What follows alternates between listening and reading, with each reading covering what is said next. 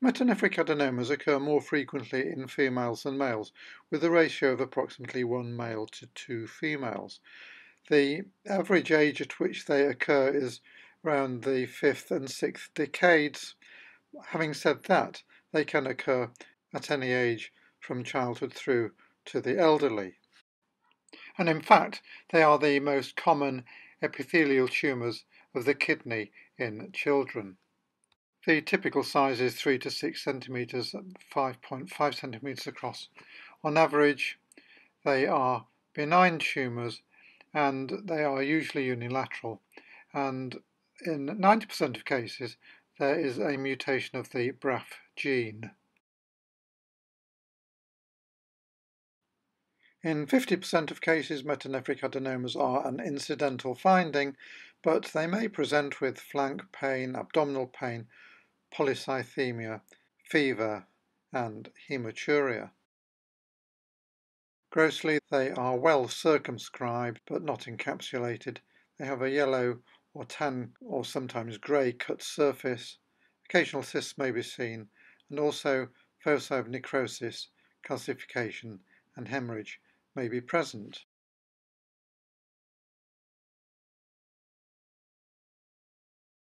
Histologically, the tumour has the appearance at low power of solid sheets of cells, but on higher power they are seen to be highly cellular with small acini, papillary and glomeruloid structures.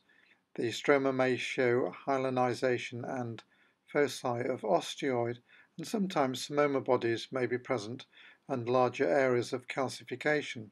The cells have scanty cytoplasm with regular nuclei and inconspicuous nucleoli. Mitotic figures are either absent or rare.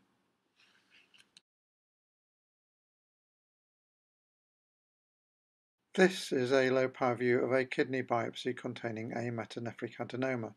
The striking feature is how well demarcated the tumour is from adjacent normal kidney.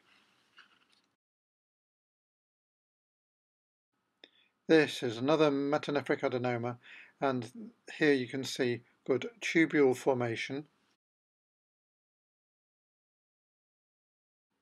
and this area shows glomeruloid structures that are frequently seen in metanephric adenomas.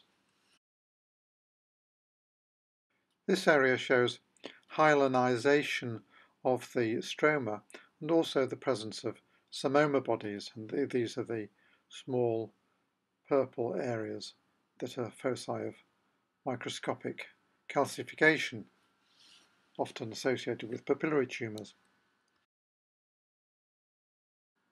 The purple structure in this area is a large focus of calcification.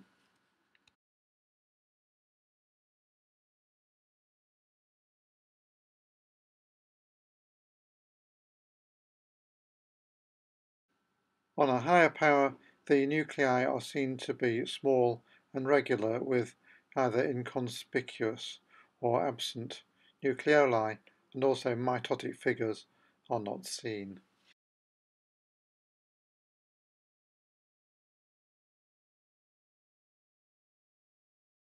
In children, the main differential diagnosis of a metanephric adenoma is a Wilms tumour, but in adults the differential diagnosis would be a papillary renal cell carcinoma type 1.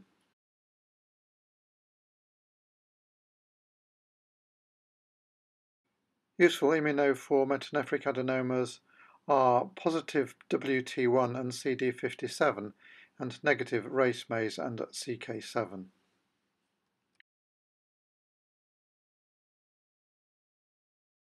This is the WT1 showing strong positive staining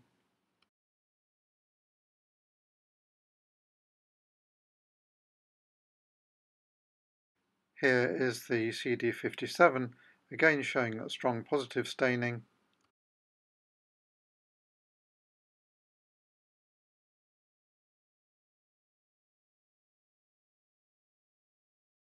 And finally, CK7 is negative and racemase is also negative.